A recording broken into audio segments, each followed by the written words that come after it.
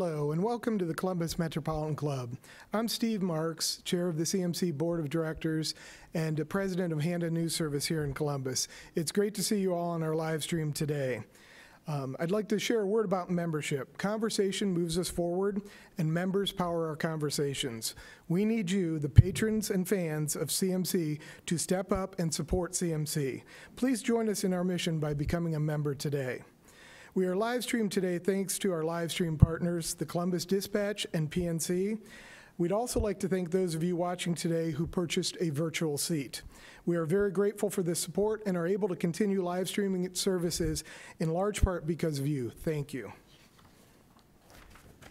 The Columbus Metropolitan Club Political Series forums are brought to us today with support from Hannah News Service and the Ohio Farm Bureau Federation. Please welcome Jack Irvin, Pre Vice President of Public Policy at the Ohio Farm Bureau Federation, to introduce our forum. Jack? Thank you, Steve. Ohio Farm Bureau is proud to support the Columbus Metropolitan Club and these public conversations on important topics, especially during this political season. Ohio's 12th congressional district is located here in the central portion of the state and includes Delaware, Licking, and Morrow counties with the additions of portions of Franklin, Marion, Muskingum, and Richland counties. So we want to provide the candidates as much time today as possible, so let's get right to the main event. So please welcome our three panelists here today. We have the incumbent congressman for the Ohio's 12th Congressional District, Republican Troy Balderson. We have a candidate for Ohio's 12th Congressional District seat, Democrat Alaina Shearer. And candidate for Ohio's 12th Congressional seat, Libertarian John Stewart. And our host today doesn't need an introduction, so we'll get right to it. Our news content director at WOSU Public Media, Mike Thompson. Mike, the floor is yours.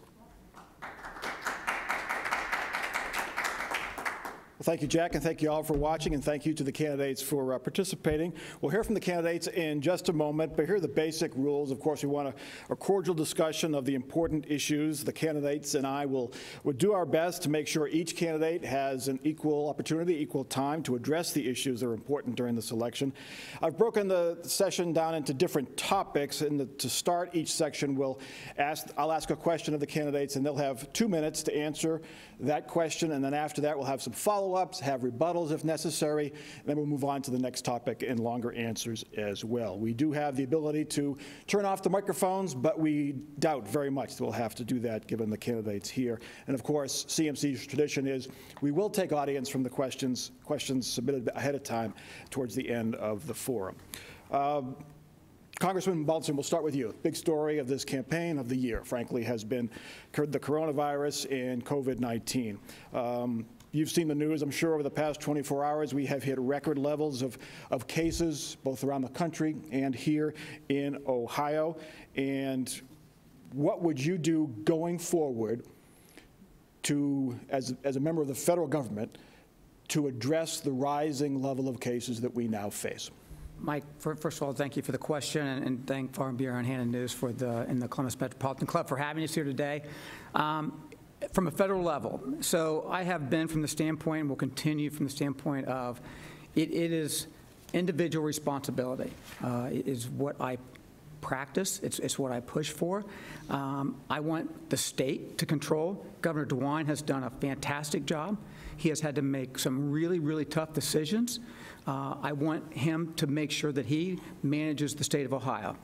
The federal government's role in, in this COVID, which is a global pandemic here, this, this is happening all over the world, uh, is we have provided three CARES packages passed in a bipartisan manner uh, that have helped hospitals, that have helped constituents, have helped folks in the district, individuals.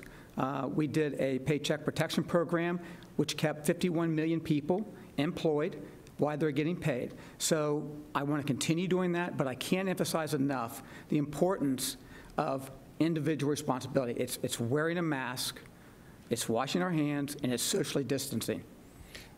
Ms. Shearer, uh, shutdowns have economic and, frankly, health consequences aside from the coronavirus. Should there be a national shutdown? Should there be a national mask mandate? So, first of all, thank you for hosting, and thank you to everybody who's watching along today and participating in democracy. You have a big decision to make. The future of this district depends on this election today. Um, I am a mom, I'm a business owner, I built a national network for women in digital and tech. And what I pride myself in is the ability to bring people together. Right now, during this pandemic, I can see both sides. I own a business that took a 40 to 60 percent hit on its profits when the first shutdown happened because all of our in-person events were canceled. I also live with two high-risk people, my stepdaughter and my husband. So I can see both sides. And a shutdown is something none of us want. We cannot afford another shutdown uh, without, if that were to happen, and it can only happen if we're at that point where we've got overwhelmed healthcare systems, and, and in that case, we would need another stimulus package.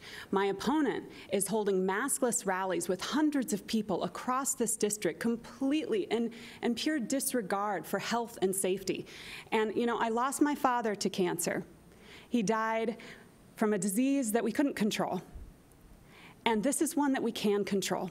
And the fact that there are families today grieving from losing people uh, to this, it's, it's astonishing.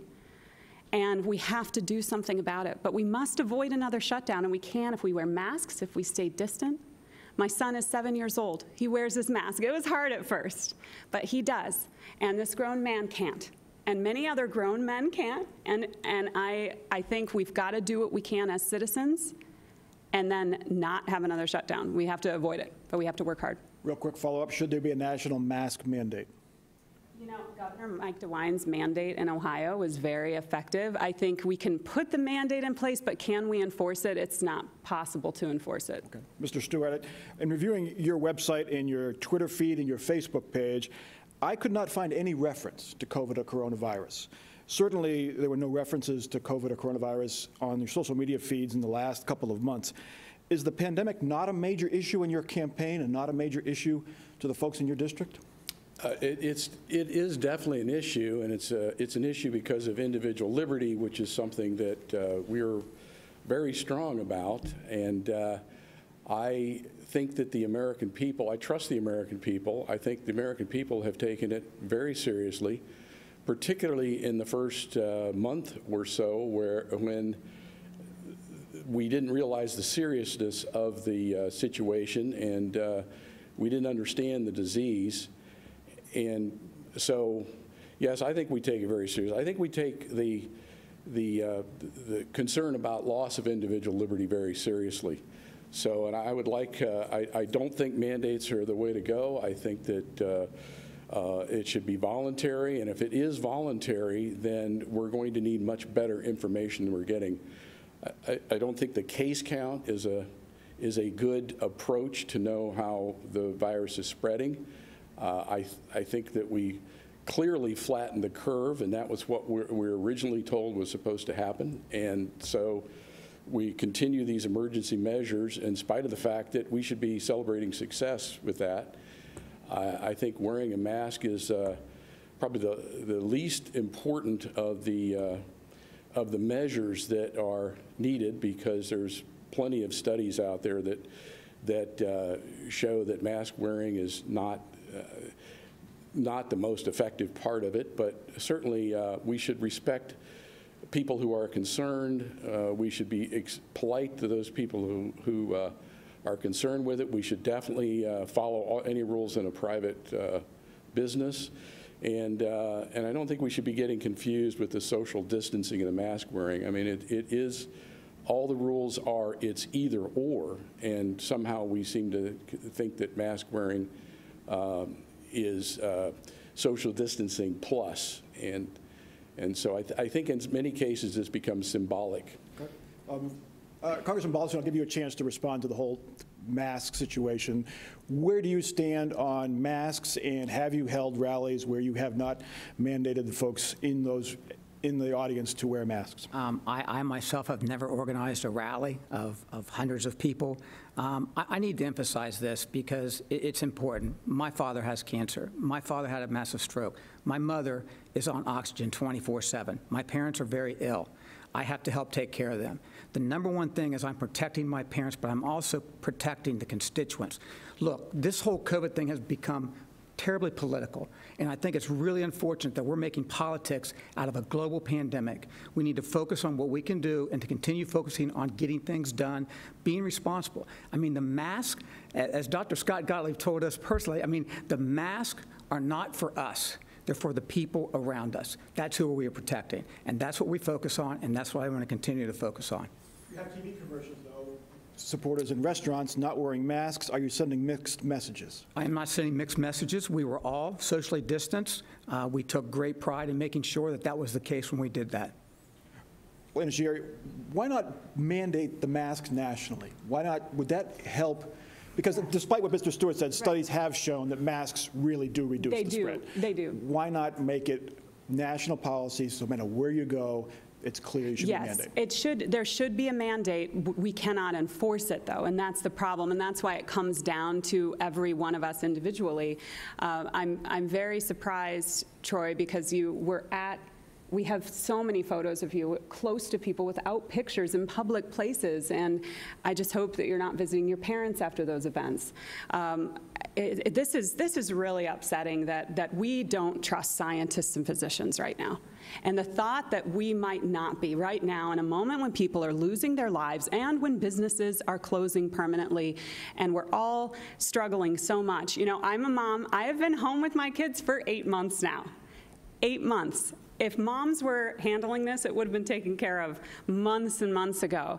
Uh, this is something we all want the same thing. We want to get back to our lives. Um, but here's the thing if people don't feel safe walking into a business and they see commercials uh, of, of you in a restaurant defying the, the mandates of you know, social distancing and, and mask wearing, i- until consumers are comfortable going back into these businesses, we're not going to recover and we're not going to save lives. We know that if 97% of Americans wear their masks between now and January, we will save 100,000 lives. That's an estimate. uh, from scientists and physicians who we must listen to. I am a doctor's daughter. I always will be one. Mr. Stewart, let me, let me get back to the whole individual responsibility. I understand that, but in a public health crisis, if one person, five people are not responsible as individuals, they could spread the virus to 10, 20 people. Shouldn't there be more of a government role in trying to slow the spread of the virus? Well, you, you use the word responsible, and so, but then you're indicating in your uh, suggestion that people aren't responsible. And I, I think the, the citizens should not be treated like subjects, they should be treated like citizens, and I think they are responsible, especially if they feel they're getting the truth and the whole truth. So, um, I, I, you know, I, I think the people that say that we should follow science, I, many times they don't understand science. I- Where, where are you getting your truth? well, uh, I, I get it from a number of different factors. I can, I could give you um, a group of people, um, which I wrote down names so I wouldn't forget. But I mean, the Wellness Forum, Pam Popper in, in, in Columbus and Worthington, Tom Renz, the attorney who is suing the state of Ohio to get more information. They have more qualifications than Dr. Fauci, who's the head of infectious diseases and allergies the They, they all cite their sources and their, and so you can go on to their sources, which are all the scientific papers that are done. Ron DeSantis had a, had a, uh, uh, has done a wonderful job down in Florida, and he had a group of scientists. These people are usually, that, that dissent from the narrative are scientists, and they're considered somehow, they don't count. All right, let's get, I want to move, we don't want to argue over the science, I want to move to what Congress can do. Ms. Shearer, um, we are still, obviously, the cases are rising. Many parts of the economy are still suffering greatly. What level of assistance should Congress do as far as an aid package, another stimulus package? What form should it take? Who should this aid be directed to? Should Congress take this up again in the coming months? Yes, and if I were in office, unlike my opponent, I would have voted for the HEROES Act. Right now, American families are struggling, and we all know this. We, we are all affected by COVID on one level or another. And right now, what we have in Washington is everything that is wrong with this country. We have politicians on both sides who can't agree to disagree, but agree on the basics. We need to bail out Americans. We have been footing the bill, American taxpayers, for their inept uh, legislation for decades. And it's time that, you know, they bail us out. So at this point, before COVID hit, um, you know, nearly 50% of Americans couldn't afford a $400 emergency, and we are all hanging on. And families are struggling, and if we're not struggling, we're losing opportunity or savings. So we've got to bail out the American people first. And that has to happen as quickly as possible. The other thing that is so concerning across this district, when I talk to mayors of small cities and um, cities like Reynoldsburg, with these job layoffs, they're losing income tax revenue, which means they're going to have to make really tough decisions with their budgets. So the HEROES Act would have also provided critical relief to cities and, and state governments. Congressman Balderson, what aid would you support going forward to help cities and towns, small businesses, individuals struggling with the pandemic? Mike, um, we are currently doing that, but I, I do want to add on the HEROES Act. Um, the last time I left Congress a couple weeks ago, they went for a vote on the floor again of the HEROES Act. It passed by seven votes. That included Democrats and Republicans that voted against the HEROES Act. And why, you ask? Because it was so hyper-partisan. There were so many things in that HEROES Act bill that would not have benefited the needs that we have right now. Now, I have personally talked to, I had the mayor of Dublin on the phone yesterday. I have reached out to all the mayors in this congressional district. Our office has talked to the mayor of Reynolds, Reynoldsburg. Uh, so, you know, we are doing that. That's how I get my information. That's how I, I talk to uh, Ohio Health ER Director of Emergency Room Services every week. I call my local hospital every week. I call Licking Memorial to get those updates of what actually is happening in this district. So I know what's going on in the district. I'm out there. I'm, I'm perfectly reachable and I'm available. We need to focus on the businesses. The hospitality industry is suffering greatly. Those are some of the biggest concerns that are out there with their, that industry. When I do go to businesses, as I've done throughout this whole district, and for the last four months have been going into businesses, you know, we talk about we need another round of PPP. That's what we need to focus on, making sure. This economy is what's going to get us out of this pandemic. It is all about the economy. We have to work to make sure that we keep this economy open, opening and make, make sure people have available to get jobs. That's what we need to focus on. Well, I'll move on to our next topic, healthcare. Obviously, it's related to this, but a much broader issue. Ms. Shearer, you support uh, a public option for health insurance. You support an income-based cap on healthcare expenses, and you support a rapid expansion of Medicare and Medicaid. How will private insurance companies be able to compete with that? And won't that lead to eventually, in the not too distant future, really a total government takeover of healthcare? And I'll give you two minutes here. My, my father was a family doctor in Delaware, and he raised me to believe and to understand and know that every single one of us deserves the basic dignity of being able to go in and see a doctor and not be um, bombarded with bills afterwards that we can't afford to pay. Right now, our healthcare system is the most expensive yet the least effective in the world. It's not working.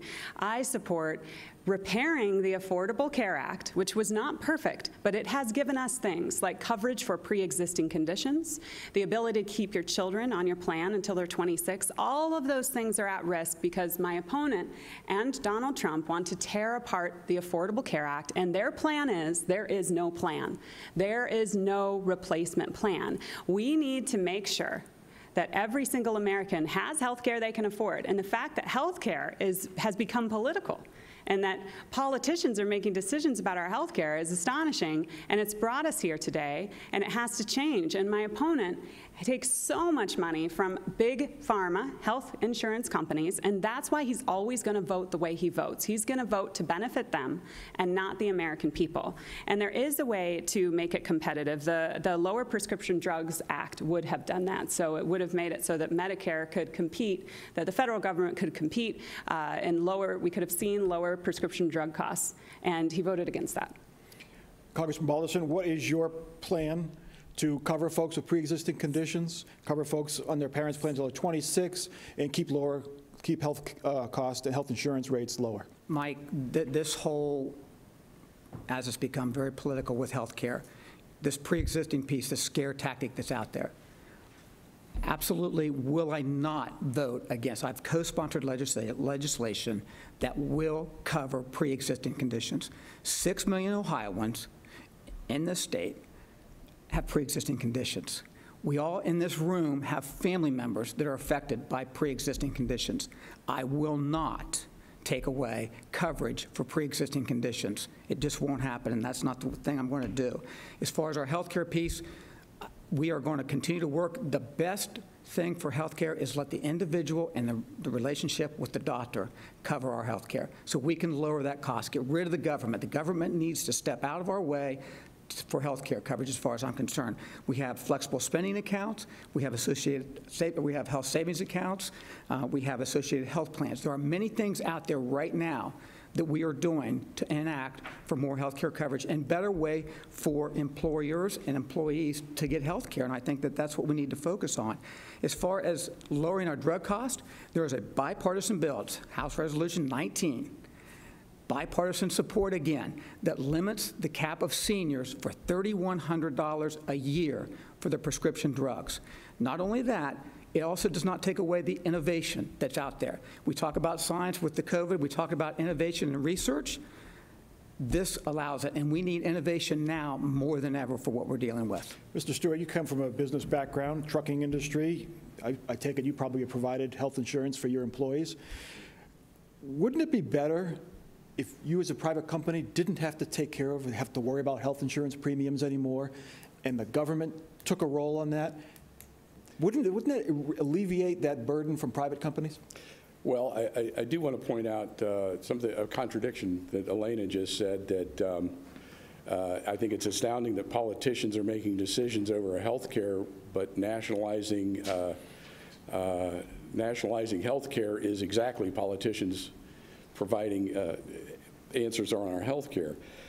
Uh, And so I, I definitely agree with you, uh, but I think the Affordable Care Act and many things we've done over the last decades have been in the wrong direction. Uh, What we had, precisely because of what you said, we had a third-party payer problem, which is we were trying to solve, uh, and we had a portability problem in, in, in insurance. We also had a, co- and that, that, we had a cost problem, and that's what caused the increase in cost. A third-party payer does not let the patient negotiate or discuss or take a, a charge of his own health care. Uh, and of course, portability is because it's all based on the company providing it. So I think there, uh, if we would take, uh, if we had done the things that are needed, and by the way, I'm running for office because somebody has to stand up for the free market, and healthcare has not been a free market.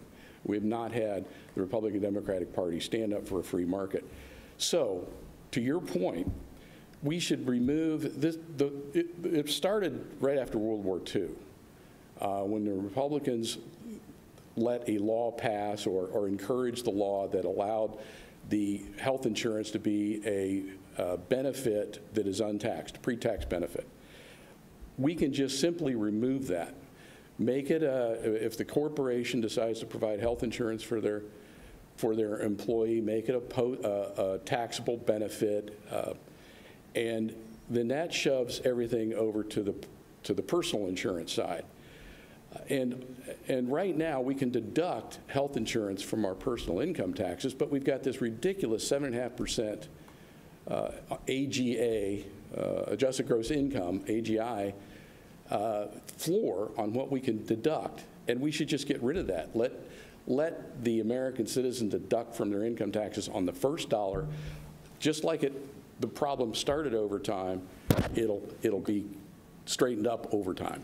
One of the, go- Congressman Balderson, go ahead. I just wanted to add a couple things too, Mike. Um, In, in its, in its cases, and and it's, it's something that has changed. Something that has happened with this COVID is telehealth and the changes that we have advanced in telehealth.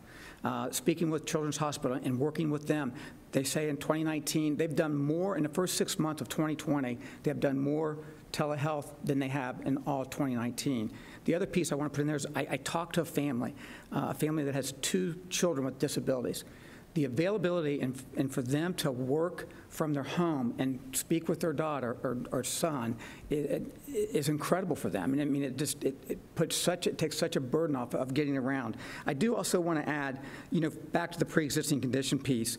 Um, we had a father call in, and, and I've worked with him, and he had a one-year-old daughter that's been fighting, it. it's a life-threatening disease. Worked for three months trying to get some sort of medication and work with that. And I just want to read real quick. Um, he reached out to us, and I, he sent a thank you note to me, and I have been in contact with him also. The very next day, we rece- desperate, he reached out. The very next day, we received a call because of the work you did. My daughter is receiving treatment on Tuesday. Over just a short couple of days, you changed our family forever and saved our daughter's life. She is doing well. They sent a picture of her on the playground recently. So I just want to add, those are, that's, that's how healthcare works, and that's what we're supposed to do. This year, people are, some, a lot of people are satisfied with their current health care. They may not like the bill they get every month, but they're fairly satisfied with what they're getting. I, what do you say to them who are afraid that your plan or any plan that allows for more government involvement will limit their choice, limit their plans? The, the government's already involved in our healthcare. And, and I support the Affordable Care Act, which allows you to keep your private plan if that's what you want. But there are so many people in the middle. So, so to qualify for Medicaid, you have to make, I think it's 22,000 a year for a family of two. That's 22,000 a year. What about everybody who, let's take a waitress who makes $30,000 a year. She doesn't work full-time. She can't get benefits. What are her options? To go to the marketplace? When I shopped on the marketplace, the health care plan for my family of six, and this is the average cost I found out, it's about $2,000 a month, $1,700 to $2,000 a month. We cannot afford health care. My son broke his arm last summer in your district, Mr. Balderson, and he broke his arm, and the bill is $13,000, you know? And so we, one person can't fix that. We've got to work together. We have to work across the aisle. We have to make this not a political issue, and we have to just figure out how to get through this as a country. It's a crisis right now. The healthcare system is falling apart. And, you know, it's part of our infrastructure. So the government does have to be involved. That's why I love, you know, living here. I want my uh, federal government to at least make sure that we can afford uh, basic needs like healthcare. I want to move on to taxes and spending. Congressman Balderson, you support a balanced budget amendment. You say it's time for Congress to stop out of control spending. Now, before the pandemic hit, the federal deficit uh, doubled from $585 billion under President Obama in his last year to more than $1 trillion. Then the pandemic hit, and even and then the spending, because of the stimulus and the and recovery, spending went up even higher. So let's put that aside for a moment. With Republicans in control of government, the deficit ballooned, largely because of the tax cuts favored by President Trump. Are you and your fellow Republicans really serious about balancing the federal budget? Mike, my experience, I am serious about it. I was in the state legislature. I had the opportunity to balance a budget that was out of budget, out of balance here in the state of Ohio. I sat on the finance committee to do that. Yes, I am very committed and serious about doing that. And we just try to go in so big and broad.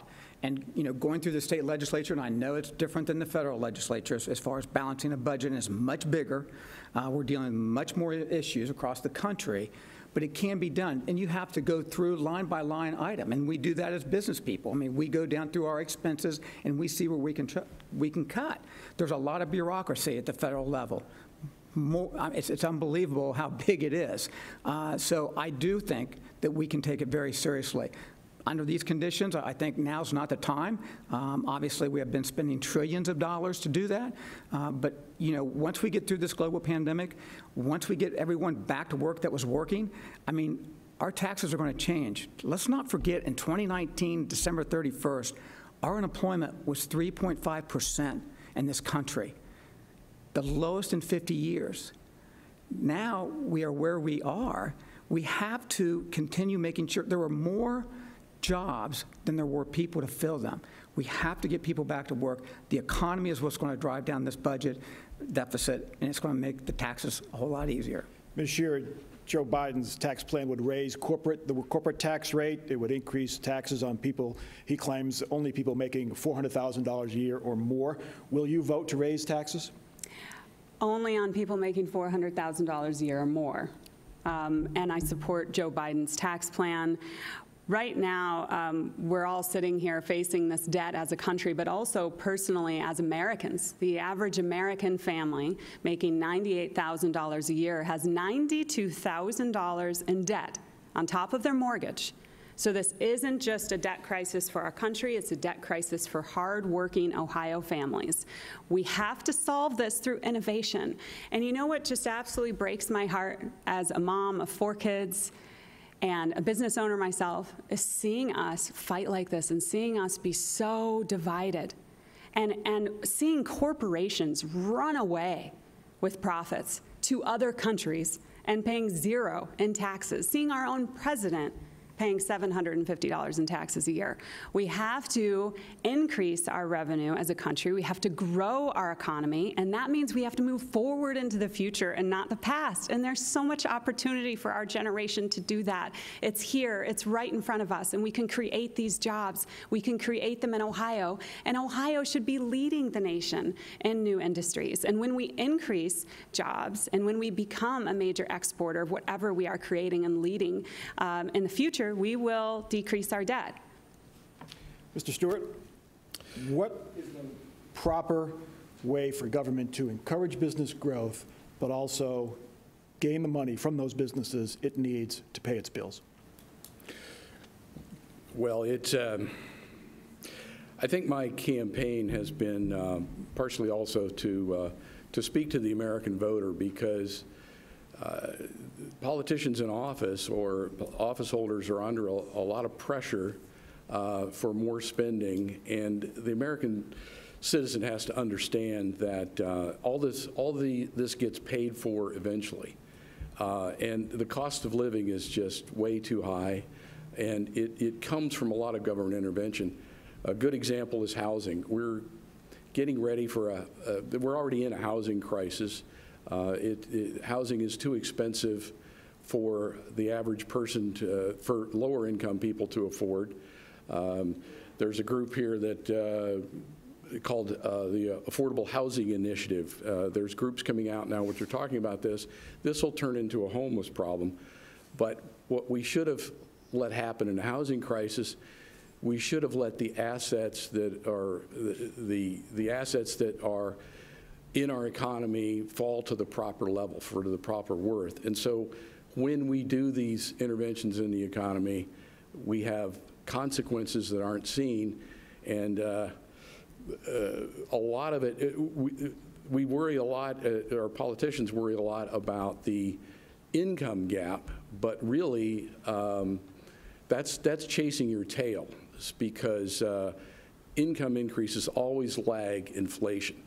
But if deflation occurs, we should encourage more deflation. If deflation occurs, you don't have to ask the boss for a raise. You're already better off. Congressman Balderson, let me, let me uh, follow up on your, on your balancing the budget, cutting spending. As you know, you need to balance a budget, you need to cut your expenses, but also you need some revenue. We've seen how Amazon pays very little taxes in some years. We've seen the reporting that President Trump paid $750 in, in personal income tax a couple years ago when he was elected. Should there be something done to make sure that at least companies pay something or pay their fair share? And that would include, that would mean raising their taxes. Mike, I want to go back to the tax reform package, and I want to tell you what I, you know, when I'm speaking in the district or when I'm meeting with small business owners, that tax reform in 2017 that was passed, as you said, by President Trump, I was not in Congress at that time, but I fully supported that. And every business that I go to benefited from that tax reform package, small, medium, large. Employers will say, I gave my employees health care that they were never able to have with that tax reform package. I was able to reinvest back in my business again. You know, when we allow these folks to do what they need to do, they're going to make it better for everybody. So, you know, yes, do we need to look at our expenses and, and how we balance? But that's the only way. You've got to cut expenses. Uh, and, and we know that. But we have to address where we are, you know, where the heavy bureaucracy is in federal government. So you don't think Amazon should be paying more in taxes? Uh, you know, I mean, you're asking a question, Mike, that I, I think I've not looked at Amazon's books. Um, I see the number of what's out there, but I'd like to verify some stuff. I mean, I'd like to see what they actually pay. I'd like to see what they do. I know that right now Amazon has employed over 3,500 people. Um, I, I know that I've had, had a couple small business owners lose employees to Amazon because they're paying their employees $20 an hour, $24 an hour, giving them health care, giving them benefits. So, you know, before we just start saying we're going to, you know, they have to pay taxes, let's verify some things. You know, we talk this stuff and the rhetoric that goes on. Let's look, let's get inside and look at this. And that's how, when we balanced the state budget under Kasich, um, we were $8 billion out of, out of deficit. And it doesn't matter the number. If you're, a if you're a dollar out, you're out of budget. So- Ms. Shearer, did your benefit, did did you benefit personally, did your business benefit personally, individually, by the tax cut passed in 2017? No. And what about the argument that if you lower taxes on businesses, they're able to invest in their employees, hire new employees, expand, offer health benefits they didn't offer before?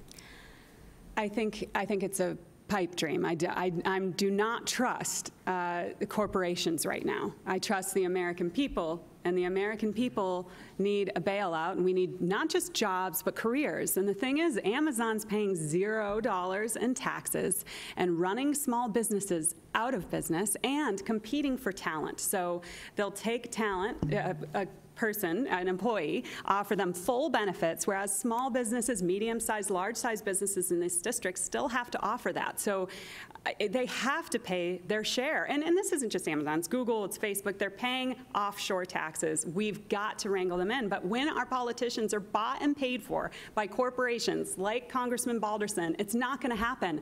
My campaign is completely funded by individual donors, nearly 10,000 now. And that's why I will fight for the people, not corporations. I just want to say, too, one of the budget cutting items on Congressman Balderson's desk that he is co-sponsoring is the Senior Citizens Tax Elimination Act, which would deplete Social Security by 2023. Yeah, here- here, Mike, the scare tactics that are out there. I mean, this, this is what's going on in Washington right now. We're pitting each other against each other.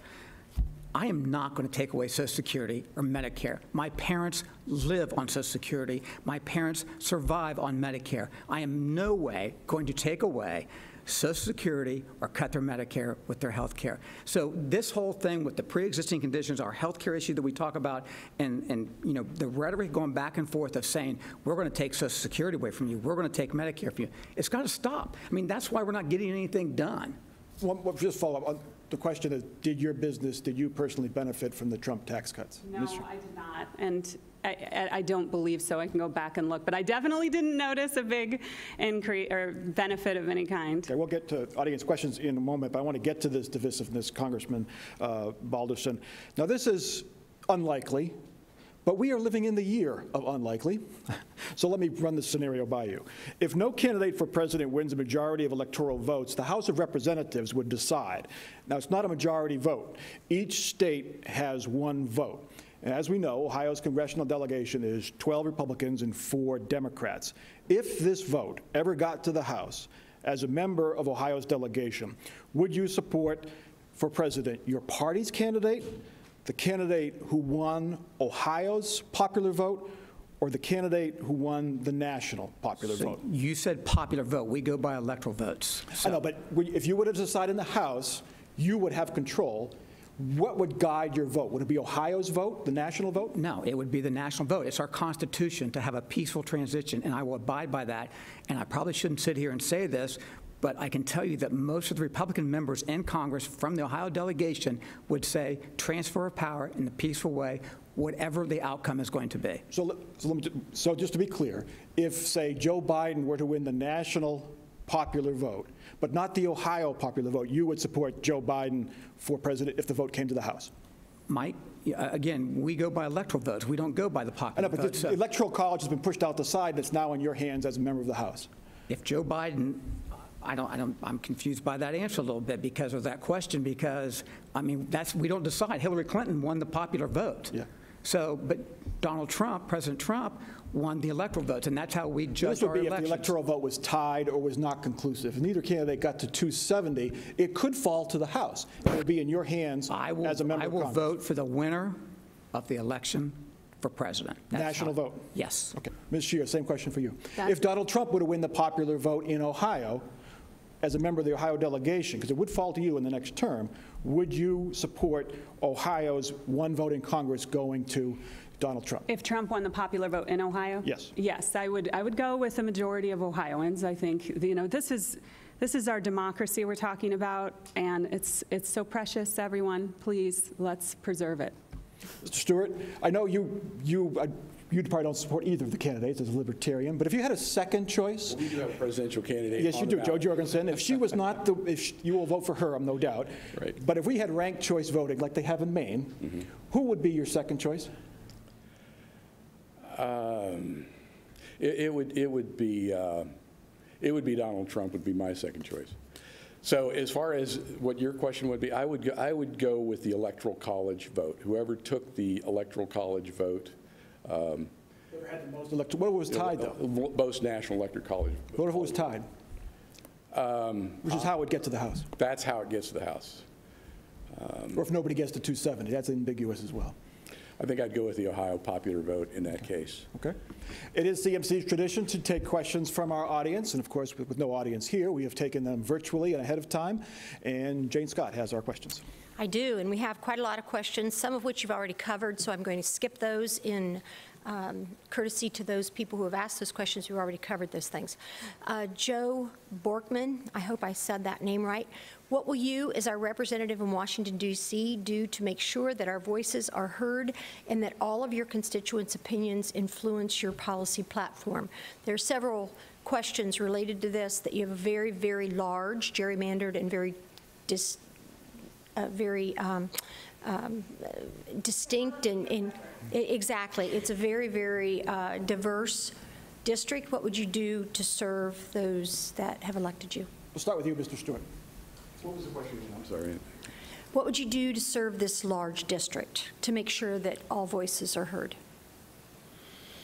Well, I think that, uh, I don't, I don't think there's as much diversity as people like to say uh, in this district. Um, I think the, uh, uh, the areas of uh, Zanesville or Mansfield or Newark, uh, Delaware County, Columbus, um, I- think, I think there's, um, they're all Ohioans, and, uh, and I think um, the same solutions for everybody, were- I think that, that the solutions that work in Zanesville would work for people in Columbus. So I don't, I don't think it'd be that difficult to serve this, this region. I think he- hearing all the opinions throughout are, are very important, so just spending the time that you need to to make sure you've heard everybody's opinion is important. Uh, Joe, thank you for, Joe, uh, camera, thank you for your question. I appreciate it, and it's so important. So, you know, this district has been, we've been told that we're divided, and, and we're not. You know, we have so much in common, and we need to focus on that first. I am a middle child, I'm one of six, and my art form was always to get everybody to get along. And I built a national women's network for women in digital and tech with women from both sides of the aisle, forced, and, and we were all behind a common cause, though. And, and that's what we need to do in this district, because no matter what, on January 4th, we need to heal and we need to move forward. Some of the, the ways that we can do that, and I've promised to throughout my campaign, is to hold virtual town halls with you, even when I'm in Washington. We live in a beautiful time where we can communicate instantly with you, and I'm not afraid of having those complicated conversations. It will be my job to represent every person in this district. And being someone who was born in Delaware and I've lived just south of Worthington, my father and grandmother grew up in Clintonville. I, I also went to high school in Southeast Ohio. This is my home.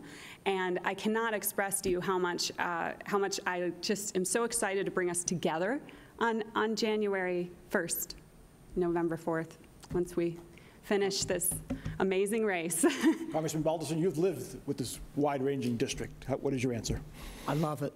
I love it. I, I, I, I'm out there every single day, and I, I love the people. I love the people that I communicate with. I love the people that I work with. Look, we've done over a thousand tours and meetings in the district since I've been in office for the last two years. We've done over 400,000 teletown halls since I've been in Congress. Working with those people. We, my staff and I would sit down after each evening when we do a teletown hall, and for the people that did not have their questions answered, we called them back, including me, and asked those same questions. I love this district. I love the people I work with. It's, it is so much fun for me. I mean, it's, it it gives me the opportunity. I mean, I'm so blessed to, to be able to have this job. And I thank God every morning and every night to be able to do this. And, you know, sometimes I joke around and say that, you know, I went and I helped one of the farmers pick beans two weeks ago. Um, you know, and I can come back and sit down with a corporate CEO, or I can sit down with a small business owner and, and have that discussion too. So I, I think that, um, you know, my background allows me to do that. Follow-up to this, census has been completed. We will have redistricting in the next couple of years. Mm-hmm. Would you support a map that makes this district much more competitive than it is now? Absolutely. Abso- Absolutely. Ms. Uh, I just wanted to say there is a teacher in Worthington who teaches political science who has offered her students extra credit for two years if they can reach you. So if you could, you could get back with her. But the one thing that is consistent about your record, Congressman, is that you do not show up for the people of this district. And, and while you're talking to thousands of people, I'm hearing from thousands who have tried to reach you, including a woman who lost her mother in a nursing home, who could not go visit her because she was dying of COVID-19. And, and that's what we've heard. So, so if you do win this election, I implore you to please do a better job communicating with the people of this district. I'll let you respond, Congressman, if you'd like. Um, My, my facts, facts speak for themselves. Over a 1,000 visits and tours. I've worked relentlessly. I'm I'm at home. My son and his wife live in Nashville, Tennessee. This is my life. I give every absolute thing to the congressional district, and I always will. What, uh, this is a question from Kara Morgan. What will be your legislative priority? Perhaps one, two, three, top on your list. Ms. Shear, I'll start with you. The first thing we need to do is contain COVID-19. We have got to contain it because right now it is, it is running rampant. We have passed the point of no return as far as any kind of viable tracing. Um, We're seeing, uh, we've got a record number of cases today. It's going up and up and up. So before we can recover economically, we need to contain COVID-19. And, and then we need to move through the recovery process, and we will bounce back. We can bounce back if we have true innovative leaders in Washington who aren't bought and paid for by corporations, but working for the American people. And, and nestled in within that is healthcare, and this healthcare crisis we've spent a lot of time talking about today. And then we also, we also have to create careers for Americans, not just jobs, but careers. And we have to look forward to the future. Uh, there's, there's so many crises upon crises and, and things that American families are facing from college education uh, to healthcare and jobs of the future, and we've got to get to work in a bipartisan way immediately. Congressman Balderson. O- Obviously, the COVID piece right now is, is the top of everybody's agenda, uh, and it will continue to be uh, as we work through this and, and deal with it. Um, But for everything else, I, I- mean, I prioritize what the district wants. So I'm going to follow the guidelines of my congressional district, the folks that are out there. Those are the people that want to see things done. Uh, And, and that's how I prioritize, prioritize my legislation as I move forward. So aside from COVID, what are they telling you is the bigger priority? Big- Jobs, jobs. Everyone wants to jobs. Mr. Stewart. I think uh, the free market it will be able to deliver goods and services much cheaper and of higher quality than anything the government can do. So that would be a priority of mine to free up the free market to address the co- uh, cost of goods and services and lower the cost of living for uh, our citizens. And um, in addition to that, I think the ideas I presented with uh, healthcare, I want to work on those very uh, that'd be a very high priority. And also something we haven't talked about much today is uh, redefining the, the mission of law enforcement and border patrol and the military. Uh, All those, the missions of those entities need to be narrowed and redefined. Um, And uh, so that's another, that would be the third priority. Last question, apparently. Oh, there are so many. Um, I'm going to collect a couple. Brittany Hubert asks a general question. What is your stance on climate change? Strategy, importance in the agenda? Congressman? Uh, Hey, Mike, you and I go back on this when all the energy talk was going on. Um, Yeah, it's important. Uh, What are we doing to change it? We're doing a lot. And here in- in this country, it's working. Our carbon is 30% down from where it was. We have cut carbon emissions 30%. That's more than anybody else in the world combined. So we are addressing it. We need the whole energy portfolio. We need it all because we know it works. Natural gas is abundant. For the first time in this country's history, we are the number one exporter of natural gas, the cleanest form of fuel that we have. Yes, solar panels work, absolutely. I, I support that always. But we need that baseline energy piece to make sure that we can keep our electricity going. And more importantly is, we want the cheapest form of energy that we can provide our constituents. What level of government subsidies should the government award for the various uh, energy modes of solar, natural gas, oil, coal, wind? Should they be putting more subsidies towards wind and solar than they are now, say, towards coal, which increase emissions? No, I, I- don't think they should be putting more to one or the other. That's kind of what we were dealing with uh, several years ago, um, is the mandates. The market will work itself out, and, and current utility companies here in the state of Ohio are going renewable energy, but they're also doing natural gas. There are eight new plants here in the state of Ohio that are natural gas plants. We need to continue doing that. Um, a- And, you know, the subsidies have gone down for each each one. So I want to see that, I mean, in 2010, 2011, a kilowatt hour for wind was almost 32 cents. Coal was 3 to 6 cents. That has gone down tremendously now. I mean, solar energy has become very affordable. Co- uh, Ms. Shear, climate change. So I am a mom of four, as I mentioned, three teenagers in the house, and climate change is top on their list every single day, as it should be for each and every single one of us, because it is such a very real threat. And Congressman Balderson is one of the um, most offending um, uh, he, he is against any kind of climate change reform. So he's a great offender in everything that he's voted against, from the Climate Change Act now to, um, and most recently, expanding access to sustainability, a Sustainable Energy Act, which would have granted money from the Department of Energy to rural electric co-ops. Um, there's so much that we have to work on, and another huge piece of it is corporations and regulating corporations that are just really the, the culprits when it comes to, um, you know, emitting so much. And what we can do is offer things like uh, solar panels to dairy and hog farmers. We can, we can work with corporations and figure out how to lower emissions even further, because what we're doing right now, it's not enough.